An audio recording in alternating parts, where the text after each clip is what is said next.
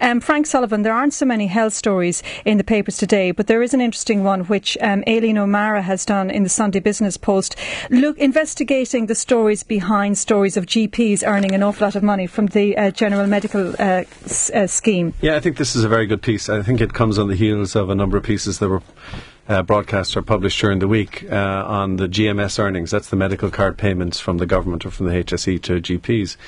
And when they when you publish a list like that, there uh, at the top of the list there are some big numbers.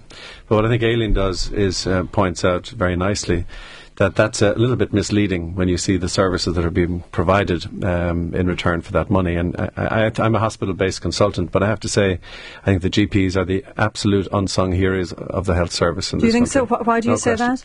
I mean, they're delivering a huge amount of care in, at a very with very little overhead, sometimes no overhead, um, out in the community.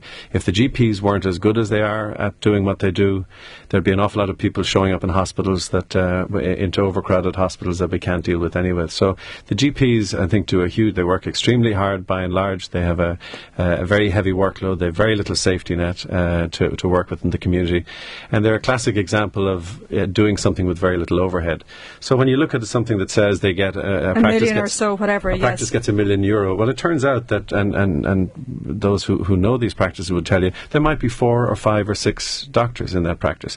There might be doctors' assistants and uh, nursing um, uh, support and, and various other practice uh, supports that are absolutely essential to take care of those patients. When you divide that million by, you know, six, eight, or ten full-term equivalents looking after these people, it doesn't seem like a whole lot of money at all. And how are things at Galway but University? But that wouldn't be their only income, though. They well, would have income from the private patients as well. I so, no, to in, suggest in that case the million euros goes six ways doesn't fully state the no, income. In, in this case, in the case cited, I think in Aileen O'Meara's piece, the particular GPs are principally working in, yeah. in the public sector. They don't necessarily have a big private se- sector because a lot of their patients are on the medical card scheme. That's my understanding yeah, of the article. The, the, the, the, kind of inference you get when you read, uh, uh, uh, you know, that a doctor is making, and the doctor's name is put beside that million euro. It looks to the uninformed that, uh, oh, there's that doctor, you know, creaming a, hundred, a million euro off the state at a time when we're, and that's far from the case. Yeah, certain practices will have a split of public and private practice, and uh, that's not to say what what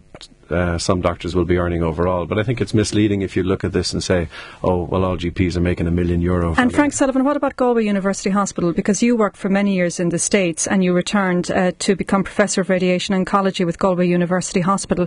Are you finding now that already your resources are being stretched because of the current, cu- current cutbacks and obviously future cu- cutbacks as well by the HSE? Very much so. Uh, I think, you know, Galway University Hospital and other hospitals like it around the country are, are working hard to try and deal with a huge volume of business that's coming our way with really not a lot of capacity to take care of it.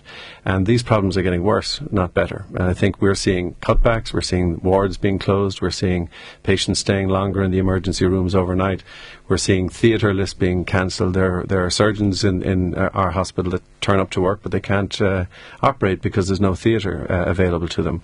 Because the, the only way the HSE has in managing some of these costs, cost problems, is to, is to cut clinical services. You know, about two. It's the same thing two like can't cut pay. Well, yeah. three quarters of the HSE's budget are fixed. They can do nothing about it, and that that's that the cost to, to the HSE is pay um, uh, and and pensions that they really can do nothing about. So the only lever they have to well, they could cut pay. Well, and there's probably well, going to be cut pay cuts in the public sector but, as a whole. Currently, that hasn't happened. Yeah. The, the, only lever that has been moved is to dial down clinical services because that's the only part of the needle they can move. And so Galway is, is the hospital is choked with patients. There, there we we have uh, far too many people coming into the beds that we have available to us. Um, now, the, the doctors and nurses, I, I think, do a very credible job. I'm not just saying that because I'm one of them, but I think the, the doctors do the best they can under the circumstances. But I mean, with the cutbacks that are coming and the budget, uh, the McCarthy r- yes. report recommendations, we're in for a very, very difficult time in the next couple of years.